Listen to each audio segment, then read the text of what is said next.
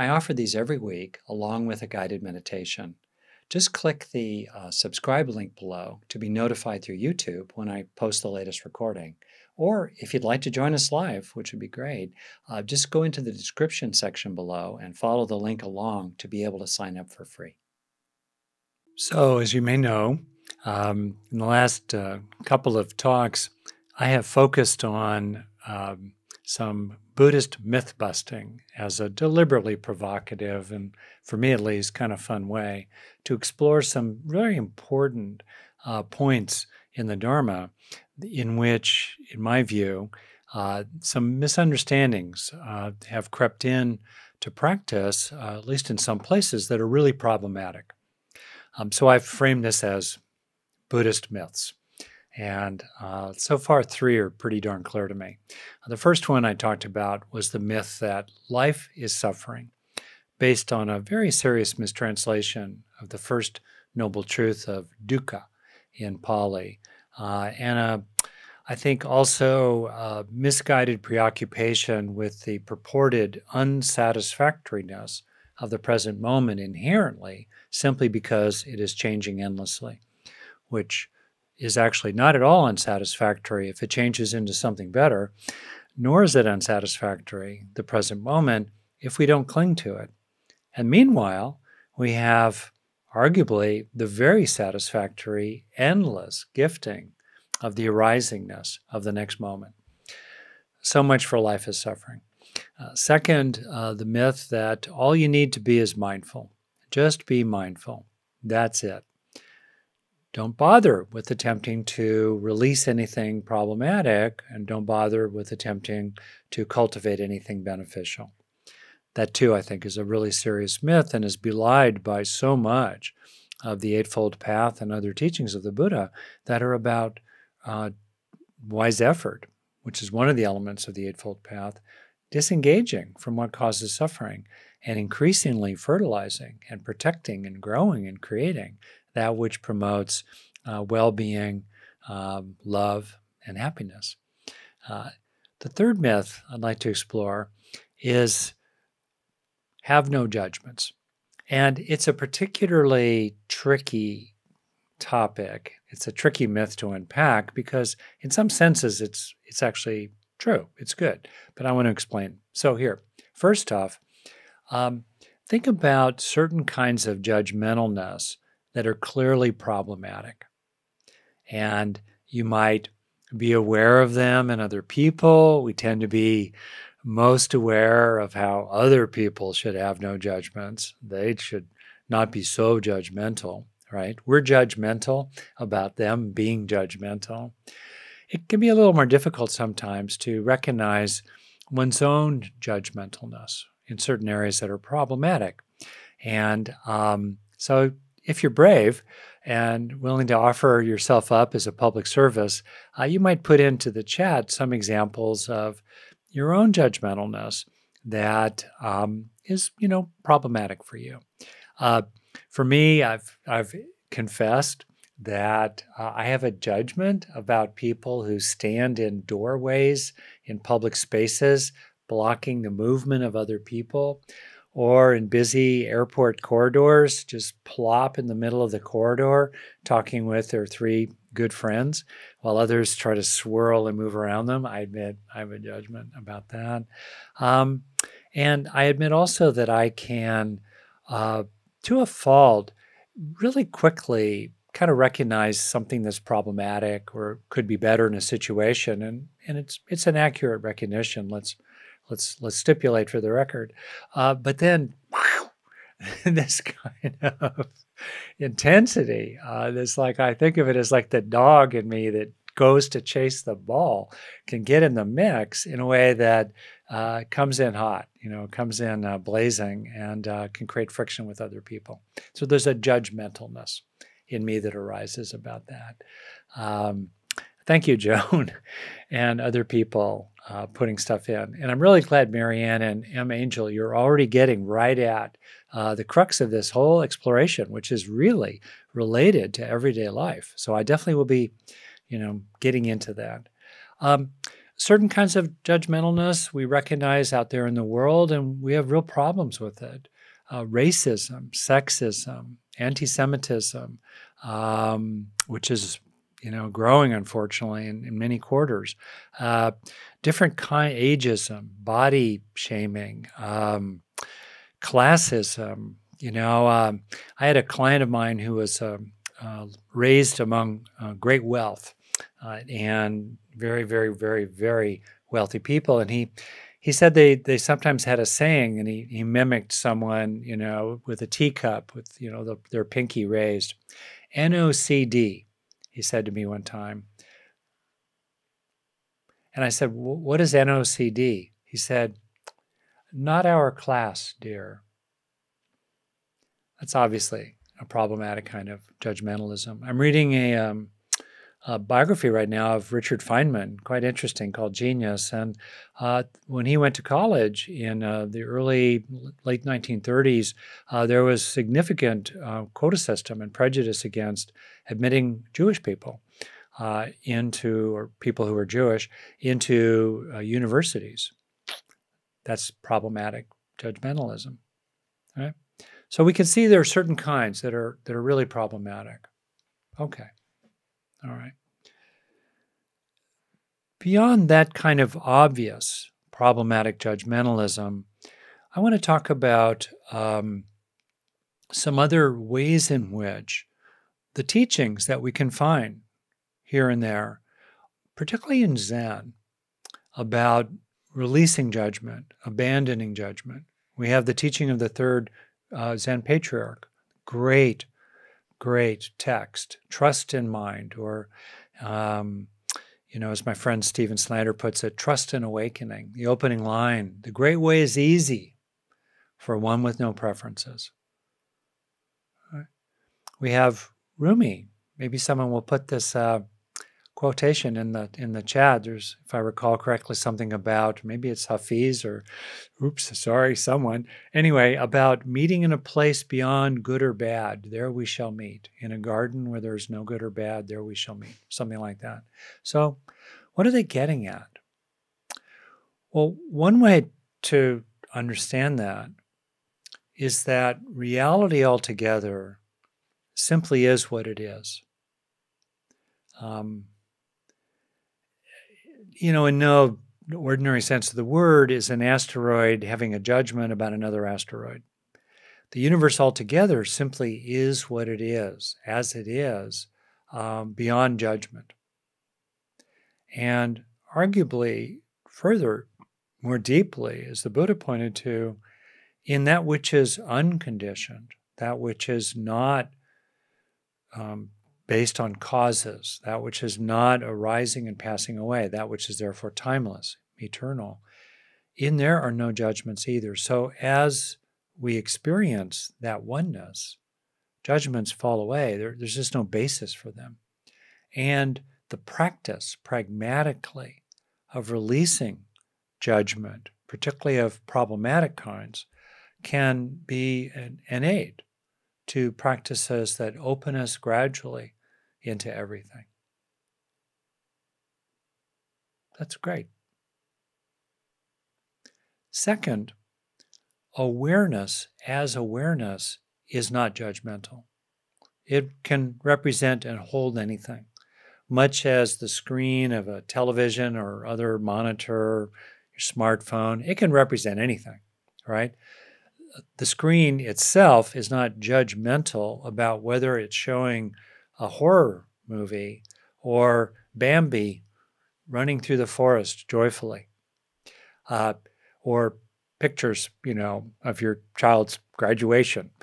Uh, you know, it's neutral. Awareness is neutral with regard to its objects.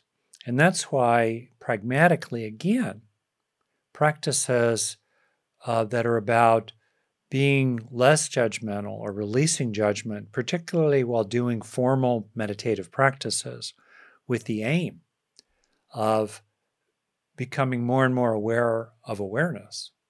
And in fact, increasingly resting in awareness as awareness.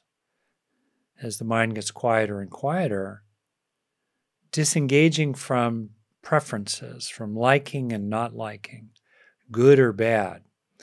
Um, disengaging from all that, certainly in formal practice, is um, is an aid to resting in the inherently non-judgmental aspects of awareness.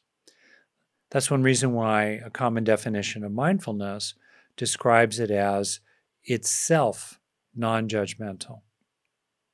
It simply is sustained present moment awareness, often with a quality, mindfulness, of recollectedness, of a kind of metacognitive oh, mindfulness of being mindful, you know, in the mindfulness.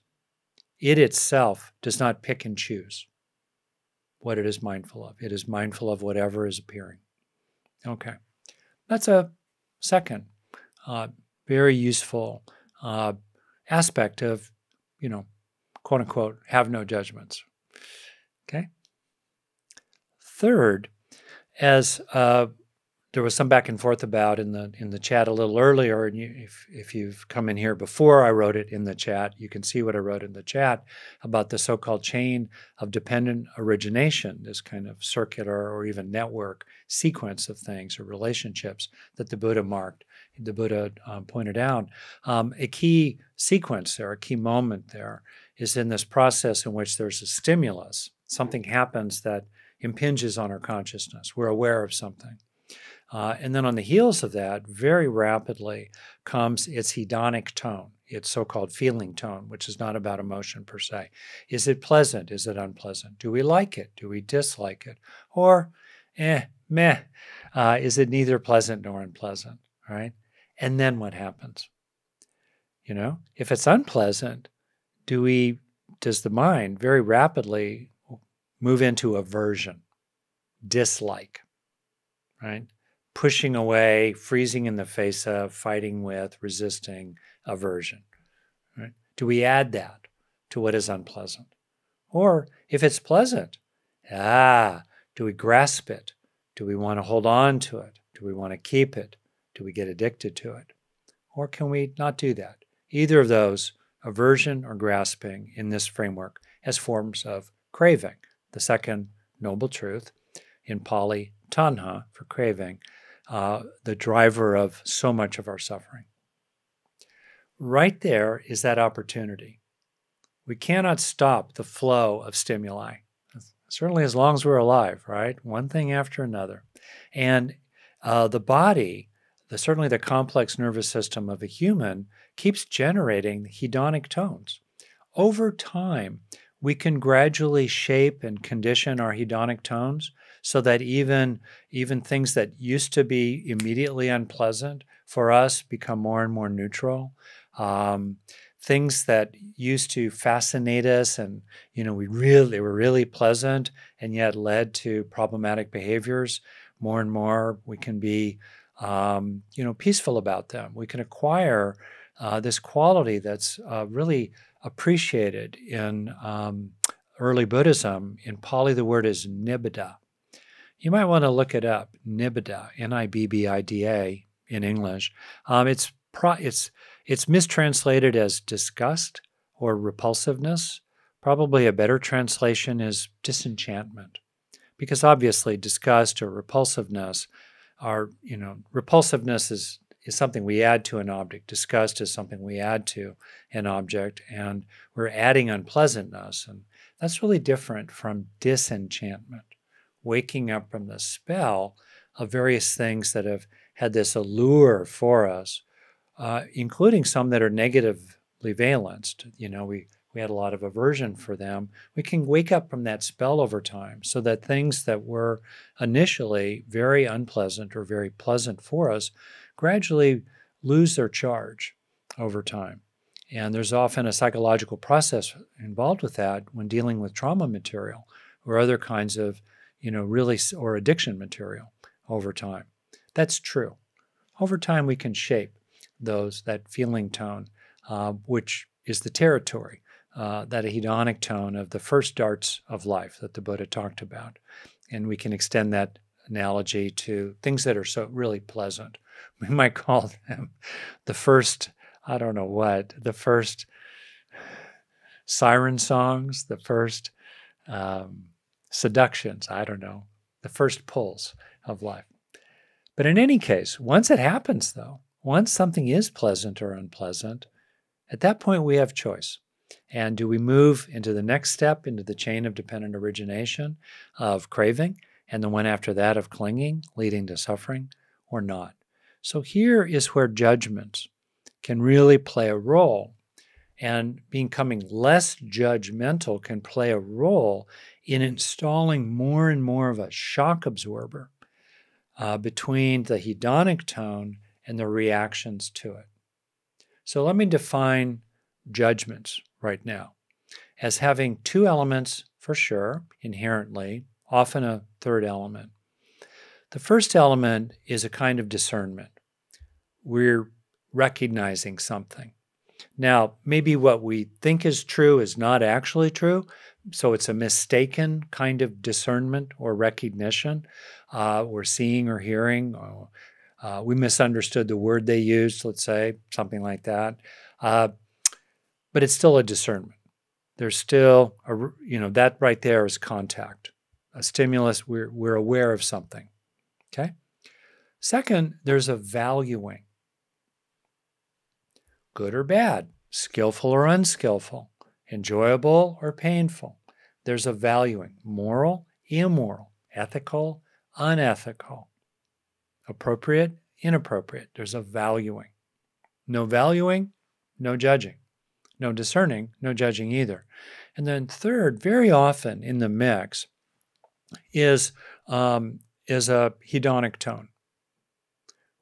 And sometimes that hedonic tone moves into awareness even faster than um, even faster than uh, the the, discer- the conscious discernment and the conscious um, you know feeling tone or, or pardon me valuing there we go um, like putting your hand on a hot stove or you you step on a on a something sharp let's say with bare feet and instantly you know there's the um, hedonic tone of it and then, you know, on the heels of that might come some conscious valuing or discerning, but boom, you immediately dislike it. Other times, there's just the discerning and the valuing. But in any case, there's a judging. And by the way, I'm seeing a lot of chats come through. Really encourage you to orient to this in emotional terms in your own life, in your own relationships rather than through various abstractions. Because that's where the rubber really, really hits the road in the ways in which being judgmental is problematic for us. And yet, on the other hand, as I'll get to, can really serve as well. So, this third kind of problematicness of judgmentalism is typically related to negative, unpleasant feeling tones, hedonic tones. And um, so, with regard to that, uh, you know, you can just see the ways in which our judgmentalness, our, our valuing of various kinds, and especially our emotional reactivity can get into the mix. And I'll give you an example of that. Uh, so I used to travel a lot, you know, pre-COVID, and kind of pre-dialing back some. And so I'd be in airports a lot, and I like airports actually. Uh, and I, you know, see a lot of things that happen in airports. And as the uh, air travel system is increasingly like a Swiss watch, so intertwining, any little thing uh, goes wrong. You know, an airplane needs to change a tire in Bangkok, and then my flight's delayed. You know, 12 hours later in Paris or something like that. Uh, things happen, and you know, I myself definitely can get caught up in you know that grumbling that comes in right? You're discerning that your flight is now delayed an hour and a half.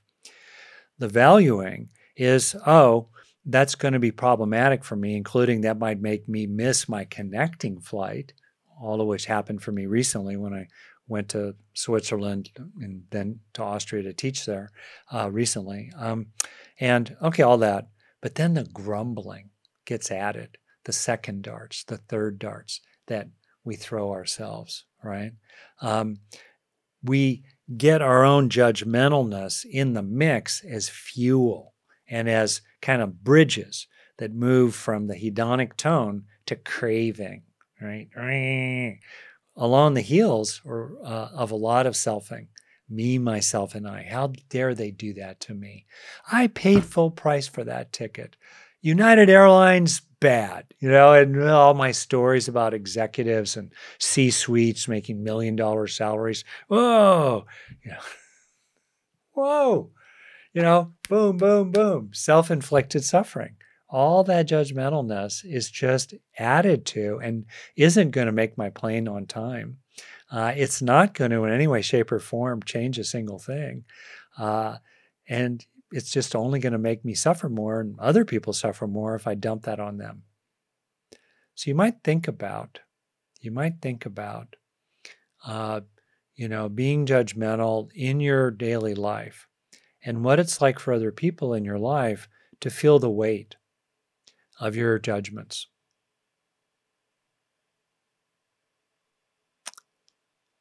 It's a real thing. And again, I really encourage you to relate to this material simply and emotionally in clear terms, not abstractly or philosophically. Um,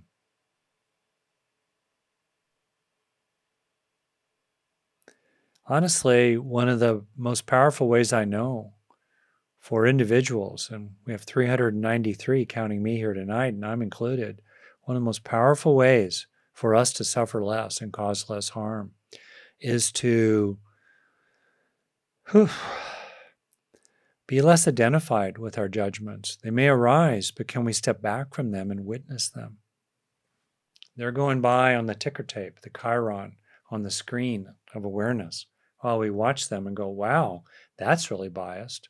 Whoa, that's really scornful. Whoa, that's really judgmental. Whoa, that's really narrow minded. Can we see that? About ourselves, right? And you know, disengage from it at a minimum. I think PA made a comment seven minutes past the hour, just forms of suffering, you know, that that come to us by being judgmental. Uh, you know, can we listen to people before passing judgment? Can we create more of a buffer between us and them? Can we allow more time, you know, to elapse before we come in with our judgments? This is a really big area. Really big area and a really big opportunity to practice.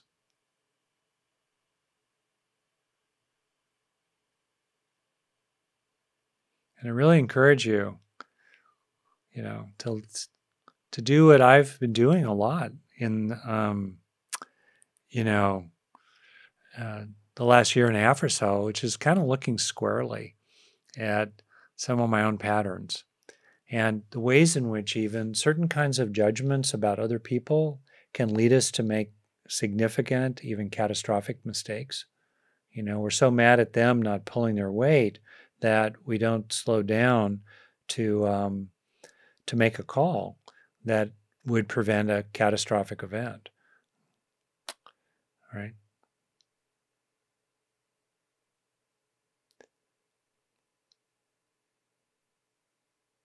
Okay.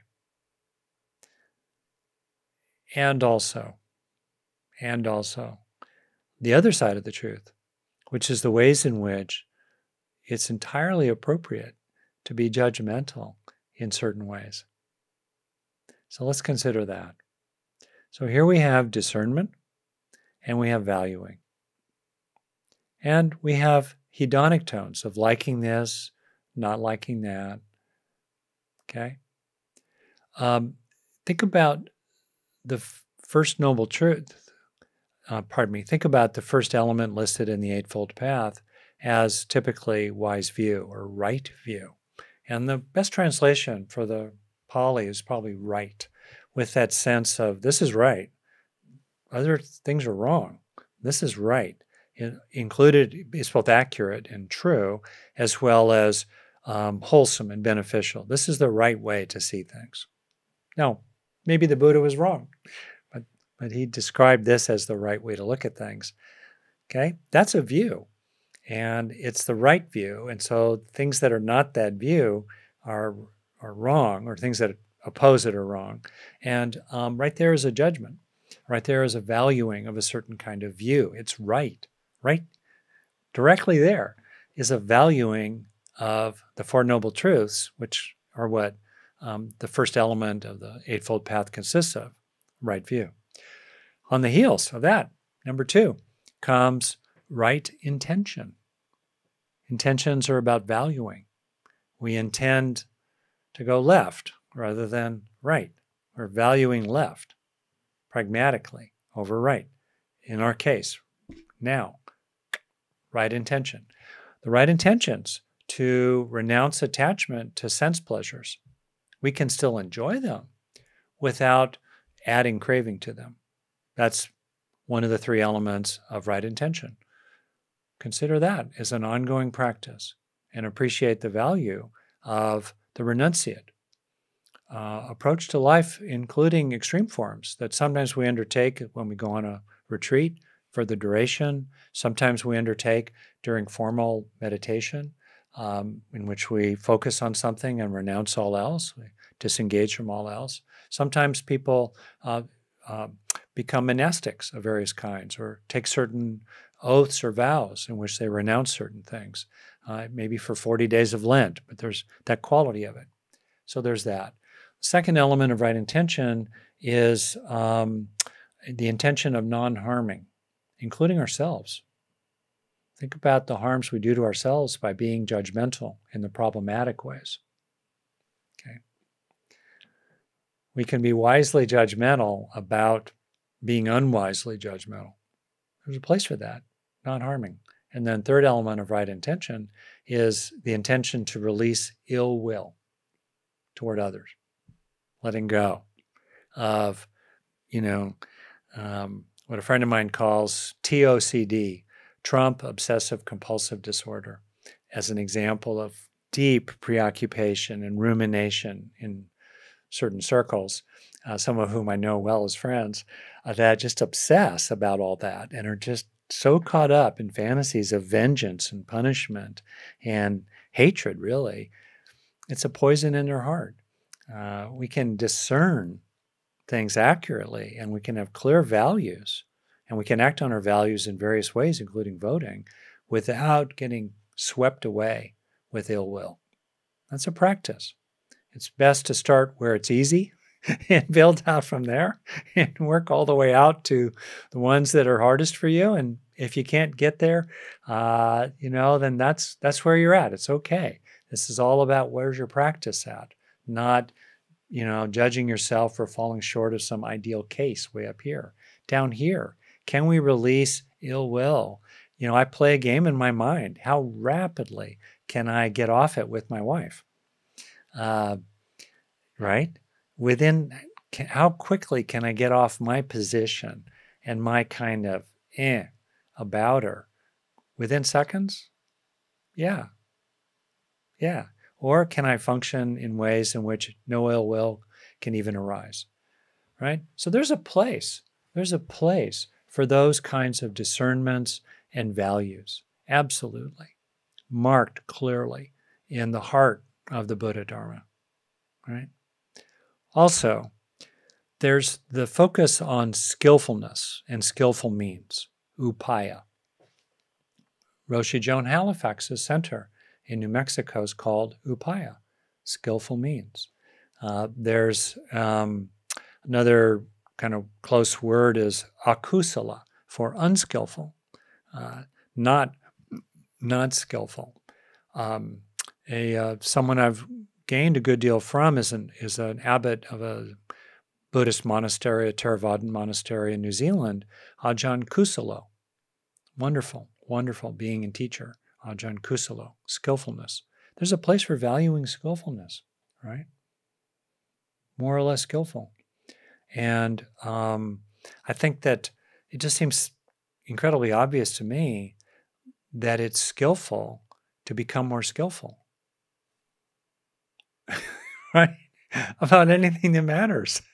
Uh, you know, I'm probably going off coffee, darn, you know, kind of help my tummy. And so I'm exploring the wonderful world of matcha that stuff's like a drug. it's intense. So I'm trying to become more skillful in green tea matcha, you know, wow. Or skillful as a driver, skillful interpersonally, skillful with our own mind. I find it very bizarre that routinely people in the Buddhist world who, you know, preach the myth of have no judgments, uh, they have tons of judgments about skillfulness applied to the outer world, right? Uh, you know, they, they cook skillfully. Uh, they, uh, you know, make diff- many choices about more skillful ways to speak with other people. Uh, they do their work skillfully. They appreciate a, a, meal that's prepared skillfully, and they'll come back to that restaurant and they won't come back again if it wasn't a very skillfully made meal. All right. Uh, you know, and yet being skillful with their own mind, exercising skillfulness with their own thoughts and feelings rea- and reactions, whoa, that's anathema. It makes no sense to me at all. You know, if any domain should be a field, field of skillful practice, it's our own minds to the extent that we can nudge it, you know, in skillful ways. So there's an enormous place here for skillfulness, right? Skillfulness. Skillfulness is judgmental. It's inherently judgmental. Third kind of, I think, judgmentalness is really summarized, I believe, in the quotation, please correct me if I got it wrong, of Maya Angelou. Um, when people show you who they are, believe them the first time, uh, attributed to her, I, I believe. And um, there's a kind of clarity that can come in that sometimes is partakes of nibbida, disenchantment, in which we start to see people as they are. And we start to see amidst their fundamental good heart and, and amidst the ways in which life has landed on them and, and jerked them around and, and trained them to be certain kinds of ways, okay. In addition to that, we can start to discern kind of clearly what we can actually count on them for. And we start being able to form more skillful, which is to say, more accurate predictions about their behavior in the future. We see them more clearly, and we start seeing people judgmentally, but in healthy ways that really are not committed to keeping their agreements with us. Or people whose friendship for us is about an inch deep and really cannot be counted on to come through if we really need some help. Or we can see certain people that can be really wonderful, but they just cannot repair any misunderstanding, broken agreement, problematic. They just they can't do it, you know. And um, we recognize that more and more clearly with good judgment. You know, good judgment. I see Ole here has brought in, you know, bad judgment, good judgment. Um, you know, fine. You know, if the, the, the labeling might be really quite helpful here. Uh, you know, judgment that serves, judgment that helps, versus judgment that harms. Okay, uh, and I think one of the meta skills uh, about skillful judgment is to be able to depersonalize it and um, not get so caught up in our judgments and identified with them and we get so we take them so personally and we get righteous about them and we start you know praising ourselves for having those judgments that's problematic even if we start with quote unquote good judgments but we get our egos in the mix then that can lead to bad judgment um, fourth uh, there's a place, I think, for realizing that we messed up. That's judgmental. That's discerning and valuing right there. You realize, wow, I did something at a minimum that uh, could be more skillful next time. There's a judgment right there. Beyond that, sometimes we look at what we did or are doing, and in our value system, ouch, that's worthy of genuine, healthy remorse. I need to change. I need to do better next time. And perhaps I need to apologize. Maybe I need to clean up a mess if I possibly can. Maybe I need to try to repair if I possibly can. Um, and, you know, set forth on a higher road. Or also, often, it's not even a matter that we made a mistake. It's not a matter of skillful correction or a matter of healthy remorse, which are two different forms of good judgment. It's more that here we are in this point in life, and we realize, you know, you know, the, the, the minutes, the breaths, the seconds, the hours, the days, and the years are ticking away, and I really ought to X. I really ought to explore drinking less coffee. Uh, I ought to meditate more, whatever that might be. Or maybe you realize, you know, it's really time finally to get serious about weight training. It's really time to get serious about paying attention to my blood sugar and fewer carbohydrates.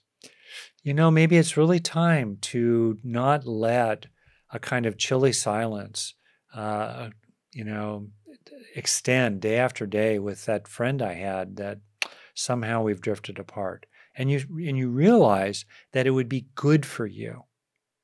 That's a judgment.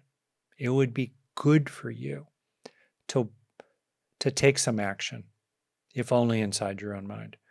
And you and you act upon that good judgment that it would be good for you to take a certain path. What do you think would be good for you to do in thought, word, or deed that you're not doing yet?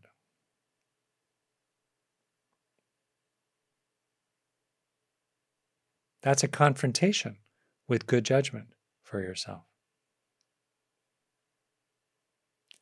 So now I'm going to respond as best I can to some of the questions that have come in. This is a kind of summing up. Um, on the one hand, yes, there are problems with certain kinds of judgmentalism. Thus, the often common Buddhist belief of have no judgments, on the one hand. On the other hand, I think that sometimes we can not be judgmental enough. We can um, be overly enchanted, sometimes out of a kind of childlike innocence about who and what other people actually are. Um, sometimes we can evade, we can get lazy about recognizing what's unskillful and what would instead be more skillful. And sometimes we can um, not even think about what might be good for us in the remaining days and years of our lives. And uh, and really open to the knowing of what would be good and act upon it. And you know that's an opportunity for for being you know judgmental in good ways about your path going forward. Okay, it's a really big topic, isn't it? Uh, let me just take a look at the stuff that's come in. Um, again, I really urge you to get out of philosophizing, disengage, you know, from philosophizing or you know, semantic hair splitting and come down into, wow, feeling in your body what it's like to be judgmental in problematic ways, on the one hand, and feeling in your body, on the other hand, what is wholesome and healthy for you about being committed as a form of judgment to that which is good for you and others. Bring it down to earth for you. That's what will benefit you more than conceptualizing and philosophizing here. That's what will benefit you. Disengaging from corrosive judgmentalism on the one hand uh, and engaging in especially the implications of the actions that flow forth from being judgmental in good ways. Okay. So some uh, I forget the name. I see you, Lynn. I also had someone else just before we started who put her hand up. Um, if you put your hand up, you can come back to the front. Uh, use that uh, reactions button at the bottom of your screen. Maybe while you're doing that. So, Lynn, uh, as usual, and we've got about six minutes here. Uh, question, short, to the point of general interest. Okay, asking you to unmute. Can you hear me? Yes. Um, I guess this is a sharing, but also question two. Um, I'm a very judgmental person. I'm aware of it. I hear my mother echoing in my mind. I'm Yeah. sitting in the McDonald's parking lot. Someone gets out of a car. I have judged how she looks, how she walks. And then it hits me that the, the pain of this world, I am contributing to it Yeah. by doing that. That's And so beautiful to recognize. Yeah. It was just, it just shook me to the core. Beautiful, And- Lynn. I want to slow you down and completely tip my hat to you as Thank you. that moment we can all appreciate is one of the hardest moments. It's like a reckoning with ourselves. It just, it's like Beautiful. it, it just shook me. And, and so one thing I do, which to try to slow it down, skillful means, is like there was a First Nations person that I saw, and I know her history just because of the First Nations problems in this country. And it's so easy to go to, why don't they this? Why don't they that? And so the thing that I put in my mind is, you have something to teach me. Ah, that's great. Well, Lynn, I'm going to keep going if that's okay. Just because there's no, that's a beautiful share. Uh, I just I, I want to respond to questions, and I'm just attentive to the time. Um, but wow, I'm gonna, thank you. I'm going to take that with me. Thank you very Oh, much. Oh, thank you. I'm going to take your words with me too. Okay. Thank you. Good. Okay, great. Um, Lillian, and if you are who I think you are, I'm so glad. Where'd you go, Lillian? Um, why don't you put your hand back up so I can make sure you're unmuted? Lillian Lahiri? Where'd you go? I was so excited that you were there. Hmm. Okay. There you are. Great. I have to ask you to unmute. There we go. That's the button. So I, unmute. Oh, I kept trying to unmute, but I can't until you ask me. Um, it's similar to Lynn's comment that I'll notice I'm pretty good at noticing, oh my goodness, that was biased. And then I uh, repent, you know, it's like, Yeah. but then almost synchronously with the repentance, there is the judgment and condemnation and shame Ah. having this uh, be a part of my life. And it seems to me there must be more skillful means for processing that feeling of shame for still, after all these years of practicing kindness, you know, Uh, being judgmental. Just unbidden thoughts, you know. well, I'm so glad you brought that up. And um, as you know, you're naming it. That's a kind of judgmentalism applied to ourselves. That's really toxic and not good. Yeah. Yeah. Um, well, I, I could offer a few things that I've found to be quite helpful about that, right? Um, one, paradoxically, is to allow a moment of remorse if that arises. And interestingly, if we actually just open to it, that moment of ugh, of wincing internally, if we if we in fact just open to it and kind of let it flow, then it tends to flow fairly rapidly. That's that's something to pay attention to, uh, like just allowing that. Okay, good. And um, actually, as a detail, I, I I think that sometimes the function of a verbally saturated righteous self condemnation cascade serves the function of preventing the emotion of remorse. And yeah, Ah, because it deflects us, it pulls us out of the feeling into this very verbal, cognitive, conceptual cascade. And um, yeah. yeah, bingo.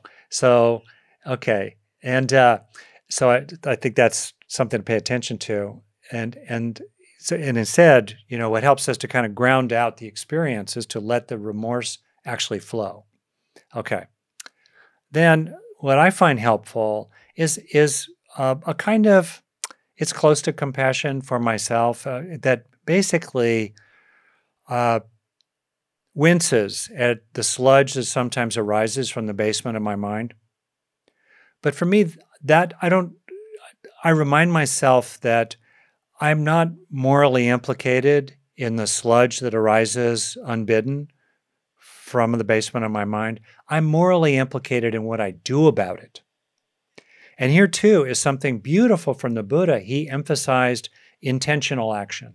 What are our intentions? So when that sludge arises, then what happens? Do we hop on board it? Do we fuel it? Do we go, yeah, yeah, those people are really horrible, right? Or do we um, intentionally disengage from it? Disengage from it. That's where the that's the moral uh, calculus. That's where that has to be. That's where the accounting occurs. And um, right, and just knowing that uh, that's helpful. And then, to me, kind of appreciating what big monkeys we are. You know, like. I mean, like, you know, it, it, just comes up. Uh, yeah. Okay. Those those things help common me. humanity. Yeah, that's right. Recognition.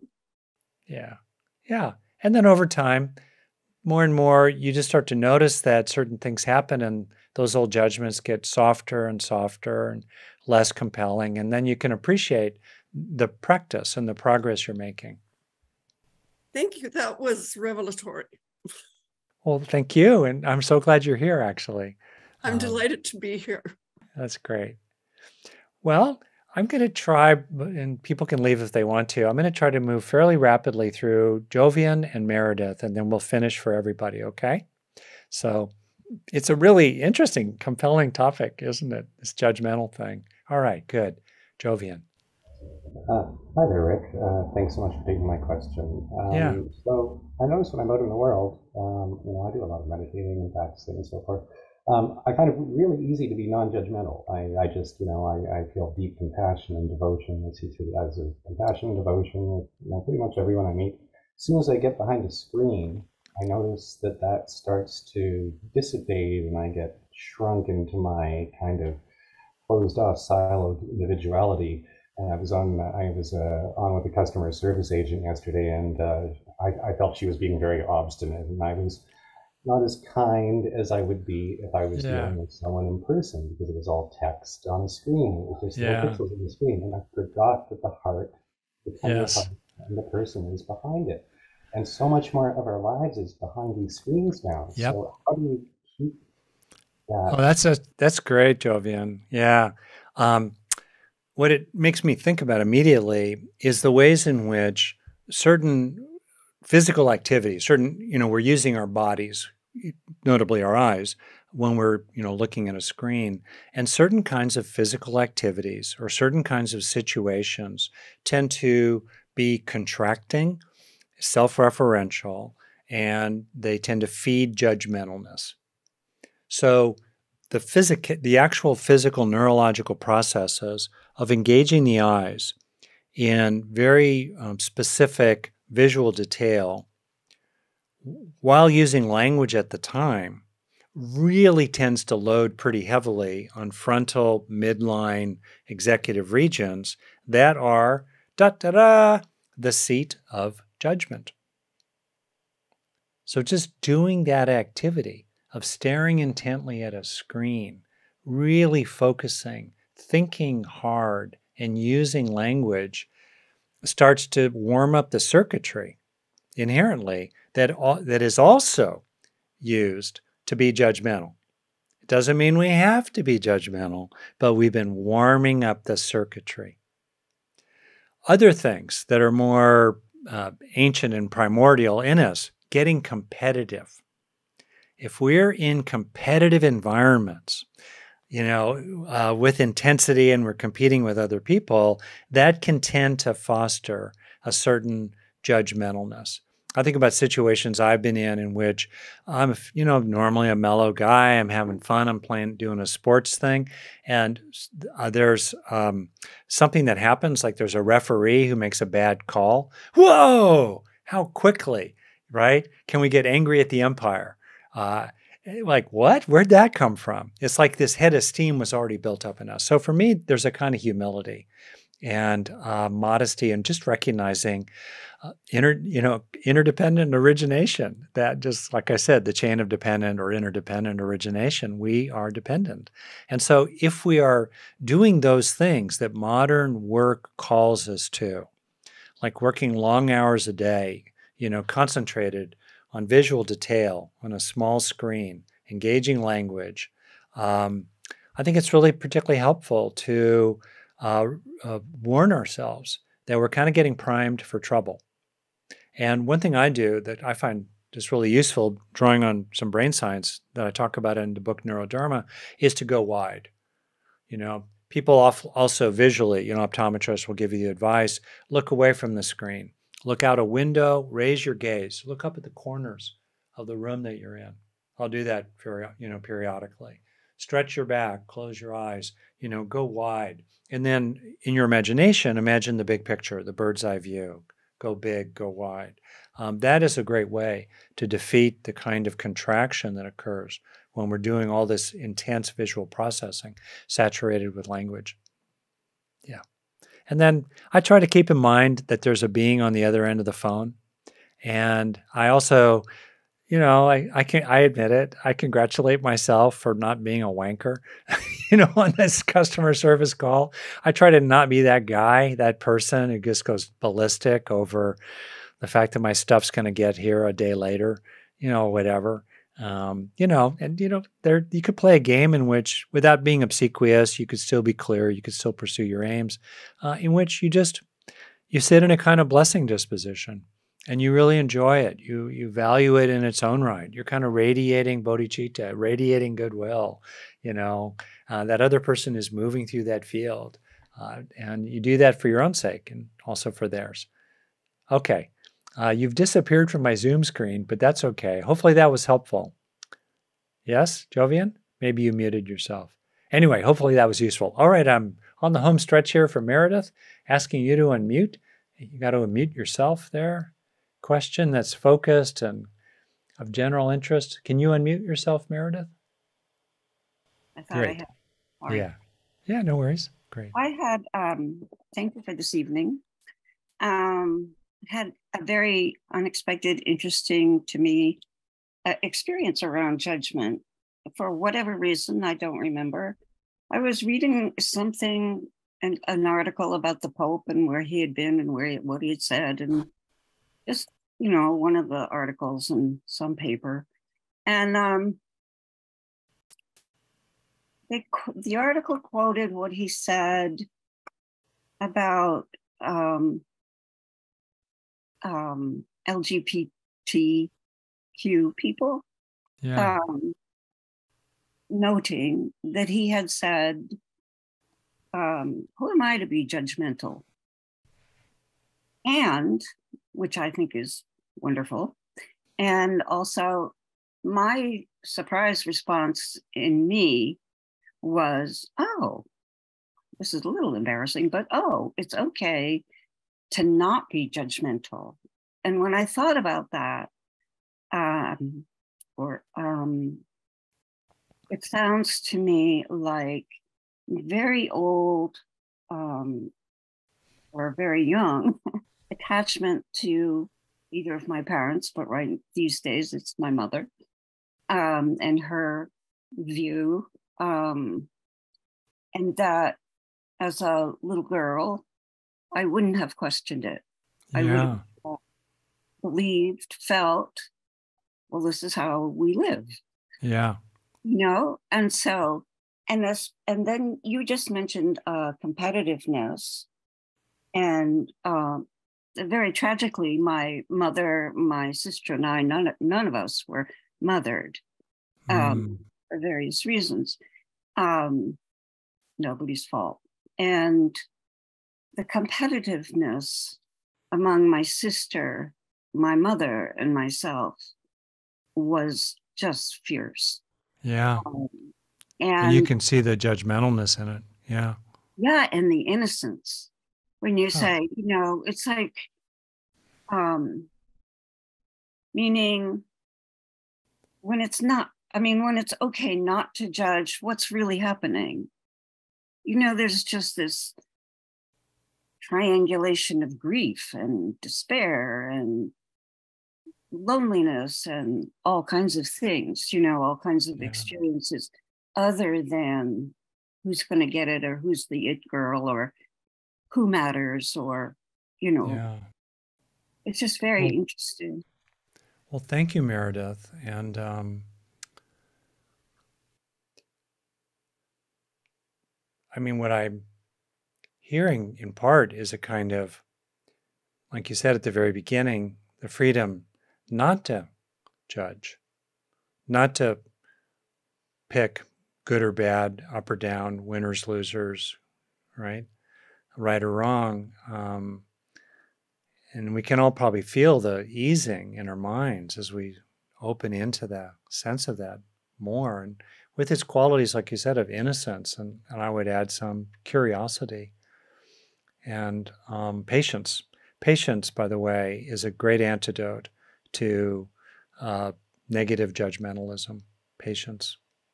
Uh, I remember seeing a, um, I'll finish here, a, a monk in an airport where there was a flight delay, just kind of calmly walking in, sitting down, you know, adjusting his robe, closing his eyes. You know, he was fine. You know, he was fine. The, the present moment was just fine for him. Uh, anyway, well, thank you. I'll, yeah. Well, okay. Let me say also, Lynn, Lynn from Calgary. I, Lynn from Calgary, I cut you off a little short, and here I am going long. So next time, Lynn, ask a question, then I'm definitely going to take more time. Okay, Meredith, just a couple more minutes, okay? Oh, I'm so sorry, Lynn. Oh, Oh no, you didn't do anything to her. I made a call. I'm just I'm just uh, correcting something that I'm going to oh, fix for the next time. But you're good. Okay, couple more minutes, Meredith, and then we'll wrap up. Oh, doctor. What I meant in my mind uh, when I said innocence, Yeah. and the innocence of any young child happened to be me, you know, in my experience, um, attaching to what seemed to be or um, the quote rightness of being judgmental. Wow. No. Yeah. This is how the world is. This is what's supposedly good. This is my mother Yeah. whom I adore. And so this is a profoundly confused sense of good. I think that's so beautifully insightful, Meredith. You know, the innocence of that girl identifying with that judgment of your mother's, internalizing it, and then gradually realizing, you know, years later, uh, courtesy of the Pope in part, uh, that you could, you don't have to, you don't have to hold that judgment, while also you don't have to judge yourself for having had that judgment, That's true. which you internalized, which you internalized so innocently, Yes, like you're saying, exactly like you are saying. exactly. Yeah. And then, you know, the big hugs. I don't know if people hug the Pope, but anyway. Oh, not well. I think well, hugging you would be really good. I think there's a I good meant me, collective. but I wouldn't mind hugging the Pope. this Pope, especially. Okay. Yeah, exactly. Thank you for Well- the time. Well, thank you, Meredith. Really touching the hearts here.